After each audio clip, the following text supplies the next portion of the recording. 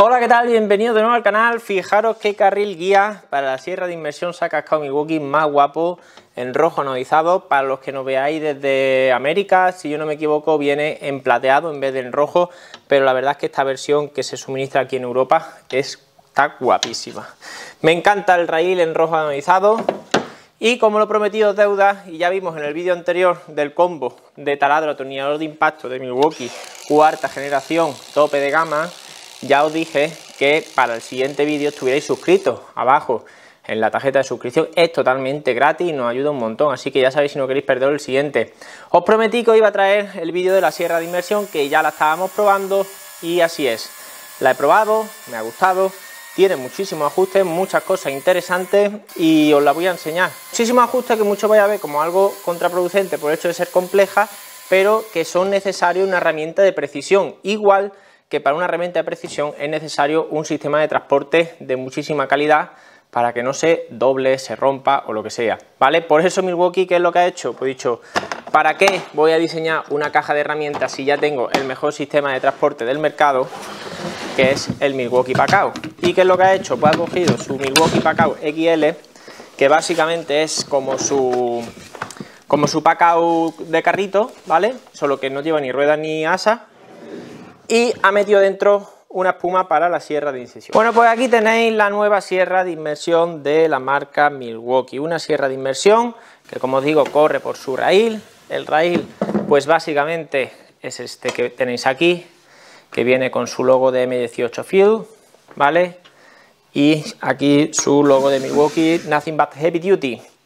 Básicamente el, el raíl es exactamente igual en el sentido de que es compatible con Festool y con Makita. Eso ya de por sí me gusta muchísimo porque imaginaros que tenéis una sierra eh, de incisión de Makita, de cable por ejemplo, y os queréis pasar a batería, ya tenéis toda la herramienta de Milwaukee de batería, funciona con batería M18 y solo tenéis esa sierra de inmersión de Makita en cable y decís, vaya, ya quiero cambiarla a una batería, no quiero comprar batería de maquita, todo de maquita, bueno, pues básicamente compráis vuestra sierra sin batería ni cargador, ¿vale? O viene con vuestro pacao y los raíles de maquita que tenéis os sirven perfectamente, lo voy a enseñar. Aquí tengo el raíl de maquita y la sierra es totalmente compatible con el riel de maquita, ¿vale? Corre perfectamente y se pueden empalmar entre ellos. Eso para mí ya por sí es un punto muy positivo a la hora de comprar una herramienta, el hecho de que me sirvan los accesorios de otras marcas o de herramientas antiguas que ya tengo y que no quiero volver a comprar y en concreto los raíles pues no son baratos. Bueno, visto ese punto positivo, vamos a empezar con sus especificaciones y vamos a empezar evidentemente porque es una herramienta Fuel, ya no lo dice en el rail, ¿vale? Que es Fuel. ¿Qué significa Fuel? Bueno, pues el tope de gama de Milwaukee, que evidentemente vamos a quitar la batería, batería M18, normal y corriente, ¿vale? Vamos a quitársela para poder manejarla y que no corramos peligro. Como digo, eh, Fuel significa que tenemos batería de ion de litio, la M18, conectada con un motor Bradley, sin escobilla, libre mantenimiento, menor rozamiento, menor consumo, mayor potencia, bueno, ya sabéis, ¿vale? Libre mantenimiento, como digo, el motor, no la herramienta en sí, ¿vale? Y el sistema RedLink, que básicamente es un ordenador que conecta la batería con el motor y gestiona la demanda. Cuando le exigimos muchísimo a la sierra, ella demanda más potencia a la batería, la batería se la otorga. Contamos con sistema de regulación variable del 1 al 6 que nos va desde 2500 vueltas hasta 5600 vueltas. Todo esto es para, para configurarlo. Como digo, tiene muchísimas configuraciones esta máquina y la primera de todas que os voy a enseñar es esta palanquita de aquí, que si os fijáis pues no pone bloqueo o desbloqueo. ¿Para qué sirve? Para cambiar el disco o poner el disco, que va a ser, de hecho, lo primero que hagáis en esta herramienta, el cambio de disco. Pero antes del cambio del disco, os enseño este botón de aquí, que vais a necesitar usarlo, que si nos fijamos en esta parte de aquí, ahí veis cómo sale y entra, o sea, se va hacia adelante y hacia atrás, esa pestañita que lo que nos permite es básicamente hacer la incisión o no. Si yo no la presiono, no me deja llevar hacia abajo la herramienta. También nos impide el hecho de darle al gatillo. Si yo la pulso, ya puedo darle al gatillo, ¿vale? Pero si quiero cambiar el disco, necesito pulsarlo para poder bajar. Entonces, lo que hacemos es poner nuestra pestaña en bloqueo.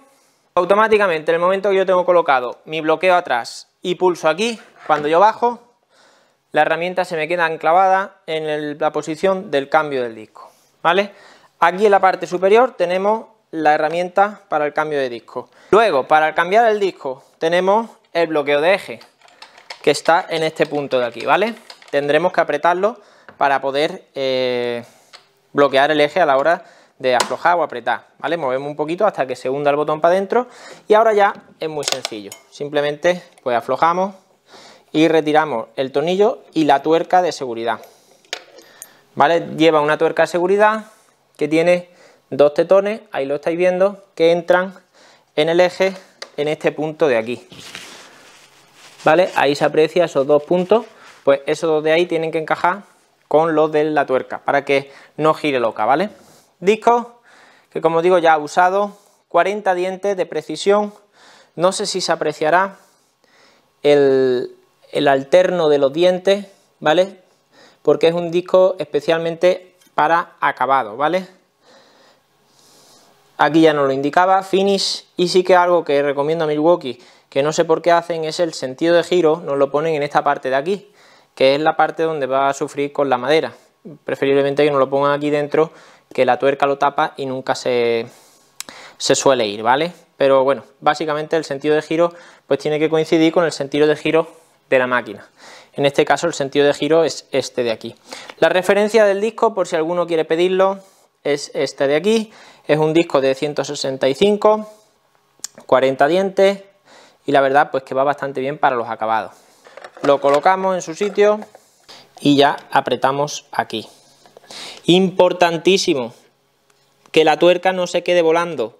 Tenéis que encontrarle el, el punto en el que se viene hacia adentro, ¿vale? Entonces ya ahí apretamos la traba de disco, le pegamos un apretoncillo sin pasarnos, ¿vale? Un apretoncillo, volvemos aquí, ponemos la llave, desbloqueamos la herramienta, ¿vale? Y ahora ya pulsamos, vamos abajo y arriba y ya tenemos el disco instalado, ¿vale?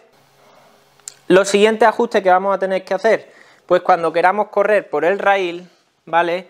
Lo importante, ya sabréis, los que sois carpinteros profesionales y tengáis este tipo de sierra, que lo primero que hay que hacer un rail es cortarle la goma negra, ¿vale? Esta goma negra no viene hasta aquí, viene muchísimo más hacia arriba. En el primer corte lo que hacemos es retirarla, pero también pasa que cuando nosotros ponemos nuestra sierra en el rail por primera vez, baila, tiene como un juego hacia los lados, ¿vale? Que tenemos que corregir. ¿Cómo se corrige? Pues básicamente con estos patines que tenemos en esta parte de aquí. ¿Cómo se regulan? Con estas perillas de aquí. Y eso es un ajuste que tenemos que hacer nosotros antes del primer corte. Tenemos dos, uno adelante y otro atrás. Si os fijáis, este y este. Que básicamente lo que hace es, cuando giramos, ¿vale? No quiero desajustarlo mucho porque yo ya lo tengo ajustado. Cuando giramos, ¿vale? Lo que hacemos es empujar esta pletina más hacia adentro. ¿Esto para qué sirve? Bueno, pues básicamente para el desgaste del carril, que se va desgastando con el tiempo y va teniendo juego. Y en una herramienta de precisión como esta, el juego no es bueno, es inaceptable. ¿Lo vamos a ajustar nosotros? Pues vamos a ir girando hasta que nuestra sierra corre y no tiene ningún tipo de juego hacia los lados, ¿vale? Ahí se queda perfectamente bloqueada. Ese es el siguiente ajuste que tenemos que hacer a la sierra antes de comenzar a trabajar con ella, ¿vale?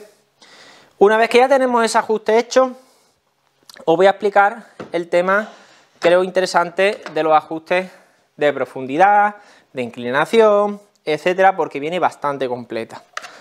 Este de aquí es la perilla de ajuste de profundidad. Si os fijáis, vienen dos marcas. ¿Por qué dos marcas? Bueno, pues una va a ser la profundidad cuando trabajamos directamente sobre la madera, sin el raíl, como si fuera una sierra circular normal y corriente, que de hecho tiene aquí sus hendiduras para ponerle su patín lateral, que no viene incluido en este caso, pero si tenéis patín lateral, pues lo podéis poner y ya podéis correr como si fuera una sierra normal. Para ello, pues tenemos una de las marcas. Y la otra marca, evidentemente, lo que hace es sumar la altura que le da el, carril hacia arriba. Entonces, la segunda marca nos sirve para eso, para nosotros regular la altura cuando estamos arriba. Estamos usándolo sin raíl también incluye esta muesca de aquí, que fijaros que no acaba en pico 90 grados. una nos va a indicar el corte a 90 grados y otra nos va a indicar el corte a 45 grados. Ajuste muy sencillo, es simplemente pulsar este botón arriba y abajo. Viene explicado, viene indicado en milímetros en este caso, ¿vale? Eh, si soy de América, pues seguramente vengan pulgadas, ¿ok? Y luego tenemos algo muy interesante en cuanto a la profundidad, que es esta pestañita de aquí, ¿vale? Si yo activo o desactivo esto, lo que vamos a conseguir es que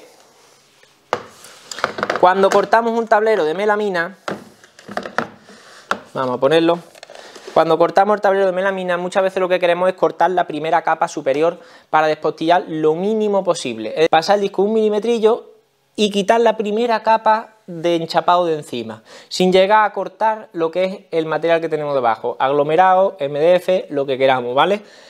Con eso, ¿cómo se hace? Pues básicamente activamos este de aquí, y fijaros, lo voy a poner por fuera para que veáis, automáticamente tenemos un limitador de profundidad que aunque yo quiera bajar más, es decir, yo esto lo tengo abajo del todo, pero no me deja bajar más. ¿Por qué? Porque con esto lo que vamos a hacer es romper esa primera capa para eh, evitar el antiastillamiento. Para eso también tenemos otra opción más, ¿vale? Que ahora os voy a enseñar, que es esto de aquí, que viene con este accesorio de aquí, que si alguno sabe para qué es, pues que me lo deje en comentarios antes de continuar con el vídeo. Otra cosa muy interesante es cuando yo quiero hacer un corte a 10 milímetros. Hago mi corte a 10 milímetros, pero no me queda a 10 milímetros, me queda a 9. Bueno, pues con esta perilla de aquí, si os fijáis hace de tope, podemos tener un micro ajuste para nosotros regularlo perfectamente. Como digo, muchísimos ajustes que nos van a venir muy bien. El antiastillamiento. Esto de aquí no es antiastillamiento. Esto de aquí nos puede ayudar antiastillamiento, pero básicamente es para nosotros ver el disco cuando corta. De hecho viene con sus marcas, que son estas marcas de aquí y estas marcas de aquí, que nos indican eh, dónde empieza y dónde acaba el disco según la profundidad de corte que estemos poniendo. ¿Vale? Y esto de aquí, pues básicamente es también para el flujo de la viruta, cuando cortamos, que no se salga por aquí y haga bien su función de salir hacia atrás. Pero contamos con este accesorio de aquí que sí que es un antiastillamiento. De hecho, aquí lo vamos a cortar cuando hagamos el primer corte. Y eso lo que va a hacer es que el disco pase pegadísimo, pegadísimo, pegadísimo al plástico y el plástico pose directamente sobre el material. Con ello que vamos a conseguir que el plástico nos haga la función de que hacemos muchas veces poniendo una cinta de carrocero y pasando la sierra. Y es evitar que se levante eh, la primera capa, ¿vale? Pues para eso sirve. Apretamos aquí la pestaña y tiramos hacia abajo. Lo ponemos y le ponemos su a ver su tornillo, ¿vale? Con la tuerca. No la perdáis la arandela que viene, no la perdáis, ¿vale? Que viene en esa parte. Bueno, pues fijaros, echad para atrás el vídeo si queréis y veréis que toda esta parte tenía plástico y no lo hemos comido con la sierra. Con lo cual estamos haciendo el ajuste preciso para el antiastillamiento. Ahora vamos con el ajuste de inclinación. Vamos a quitar nuevamente la batería para enseñaroslo con seguridad. Y el ajuste de inclinación es muy interesante porque vamos desde menos un grado hasta 48. Es decir, no nos limitamos de 0 a 45, sino que vamos un poquito más allá. Para liberar ese ajuste tenemos esta perilla de aquí y otra atrás. Eso es muy importante, no tener solo una perilla, porque bueno, eso lo que hace es que vaya, después no quede bien ajustado. Si os fijáis, cuando yo libero las perillas, no me da los 45 grados, sino que se me queda clavado en los 22 y medio. ¿Por qué a los 22 y medio? Bueno, pues básicamente un corte muy esencial en la carpintería porque cuando hacemos ensamble a 135 grados, que son ensambles de 90 más 45, este de aquí es el complementario, si hacemos este corte en la madera en un lado y en otro, nos va a quedar perfecto, ¿vale? Entonces tenemos un tope preestablecido a 22 y medio. Yo no quiero 22 y medio.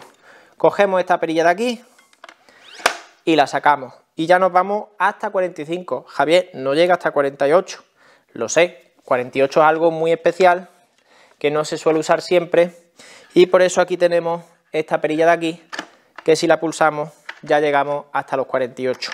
Si volvemos para atrás, salta y ya volvemos a los 45. Y ahí tenemos los 0 grados. Pero no he dicho que iba a menos 1, sí, volvemos a pulsar en esta parte de aquí y ya nos deja ir a los menos 1 grado. Otra cosa interesante de la sierra es su sistema anti-kickback, ¿vale? Anti-patada, para que eh, el material no se cierre y nos pille el disco y que la herramienta se nos levante, ¿vale? Con este sistema pues nos evitamos eso. Eh, como veis es amortiguado, con lo cual entrará lo que tenga que entrar, no, no hay problema. Se puede quitar por este registro de aquí, tiene un tornillito, ¿vale? Ahí metemos el destornillador y lo quitamos. Pero como digo, no estorba para nada a la hora de hacer los cortes y nos sirve como sistema de seguridad. Y eso, señores, es todos los ajustes que incluye esta máquina. No tiene más ajustes, son bastantes, pero es importante que los tengamos en cuenta. El hecho de cortar la goma la primera vez, el hecho de cortar el antiastillamiento, el hecho de saber cómo funciona la inclinación, las profundidades, los, los microajustes, el corte de un solo milímetro, ¿vale? El hecho de también el disco, ¿vale? De enclavarlo para poder cambiarlo, bueno, todos esos ajustes creo que son interesantes. Deciros que viene con su bolsa, que yo la tengo a reventar ya, y viene, para que veáis que no es mentira que la está usando, fijaros, macizo lo tengo, macizo, macizo, macizo. Y de hecho, si os fijáis, tenemos virutilla negra. Javi, esa virutilla negra de qué es? Pues del plástico que acabamos de cortar. ¿Veis? Ahí está. También de la goma cuando la corté por la primera vez, ¿vale? Deciros que el poder de succión natural hacia el saco es bastante bueno, fijaros. ¿Vale? Con lo cual, con el propio saco ya vamos a recoger bastante buena cantidad de viruta, como habéis podido ver eh, en el saco que ya tenemos limpio. Algo que no he dicho es la capacidad de corte, que son 57 milímetros, ¿vale? La profundidad de corte es 57 milímetros, que de hecho en algunas tablas donde tengamos 60 no nos va a dar, ¿vale?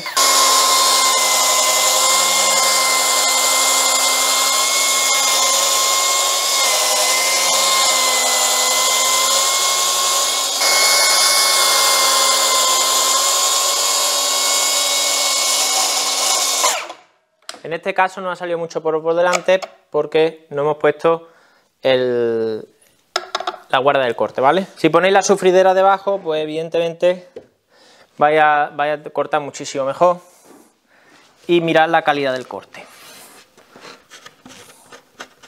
O sea, es una calidad buenísima sin necesidad de la sufridera. En este caso también es verdad que estamos usando madera natural en lo que es el enchapado. No estamos usando melaminas que siempre son más duras y tienden a quebrarse. Ahí ya sí que sí vamos a usar el, el antiestillamiento, ¿vale? Bueno, y no iba a dejar con la ganas de ver un corte en melamina. Tengo abajo un montón de tableros de melamina que cortar, pero tengo que acabar primero este mueble y luego ponerme con el siguiente. Si queréis ver cómo cortar melamina más en profundidad, seguidme en arroba racubil porque ahí subimos mucho contenido de cosas que vamos haciendo diariamente, cosas que en YouTube a lo mejor no, llegáis a ver, ¿vale? Como son las reviews de las máquinas. Igual que en Instagram no veis las reviews de las máquinas, simplemente veis cómo funcionan en el día a día. Eh, le hemos puesto eh, lo que es el, el antiastillamiento, ¿vale?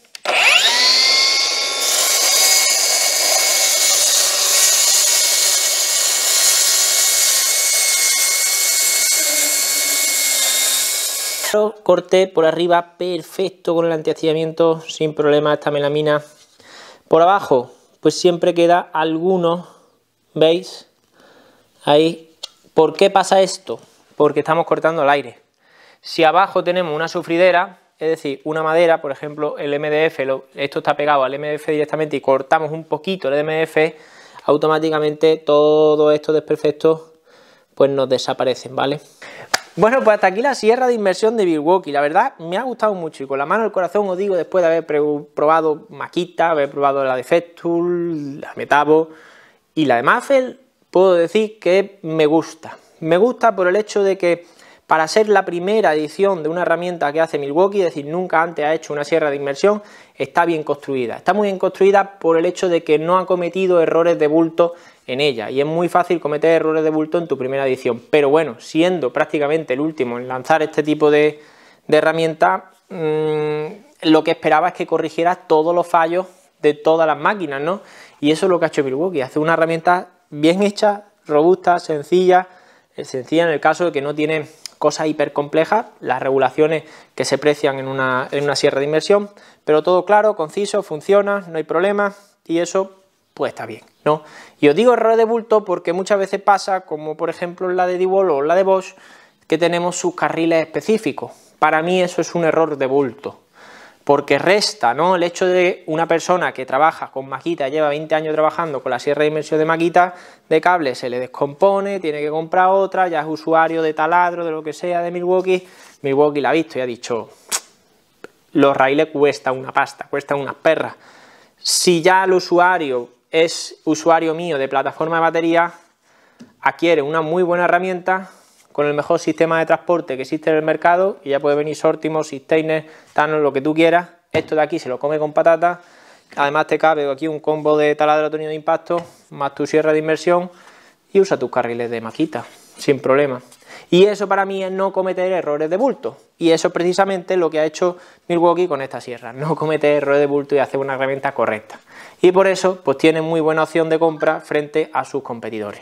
Y poco más que añadir. Cualquier duda, consulta, ya sabéis, abajo en los comentarios. Os agradecería muchísimo dejar un like, un comentario, compartáis el vídeo, todas esas cosas que os pido siempre para que YouTube nos, ayude a crecer más. Y si no estáis suscritos, ya sabéis que es totalmente gratis. Por favor, suscribiros aquí en la tarjeta de suscripción.